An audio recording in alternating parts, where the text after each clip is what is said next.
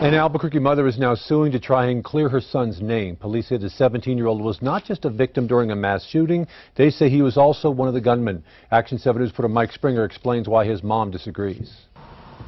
It's a mother's fight for justice. They're going to blame my son because he's not here. They're trying to close the case real quick. They're trying to make it seem like he's the bad person, which it's not. He's the victim.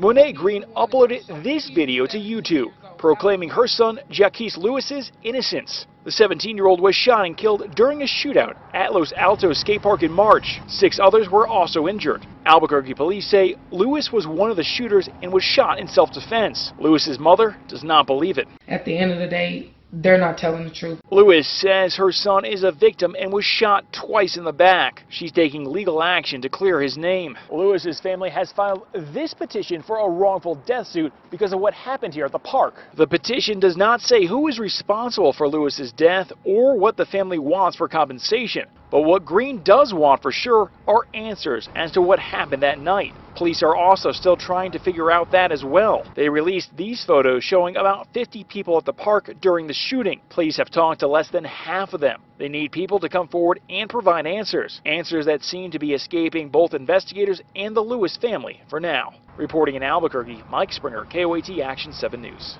Albuquerque police would not comment on the video.